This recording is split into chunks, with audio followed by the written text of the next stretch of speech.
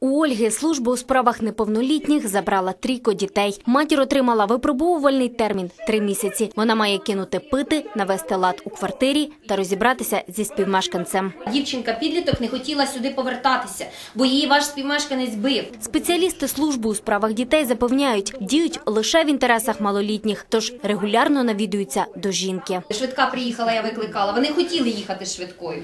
Ми думали, що ви вже взагалі тут помрете, ось тут на дивані лежучи. В такому стані ви були побита. Діти Ольги перебувають у Вінницькому притулку. За місяць мати їх відвідала лише кілька разів, але каже, за дітьми скучила. Не п'ю, ні з ким не живу.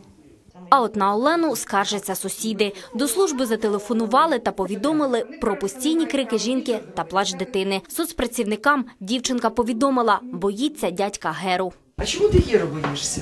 Я колоси. Ти хороша, а Гера що кричить чи б'є? Ми вас попереджаємо про відповідальність за невиконання батьківських обов'язків. Якщо далі буде продовжуватися, так дитина буде е, кричати, будуть сусіди на нас звертатися, будемо брати дитину на облік. Зараз на обліку служби у справах неповнолітніх перебуває понад дві сотні дітей, які опинились в складних життєвих обставинах. Одна з головних причин ухилення та невиконання батьками своїх обов'язків. На більшість з них кажуть соціальні працівники, попередження та благання не діють. Ірина Кош, Вадим. Новини телеканал Віта.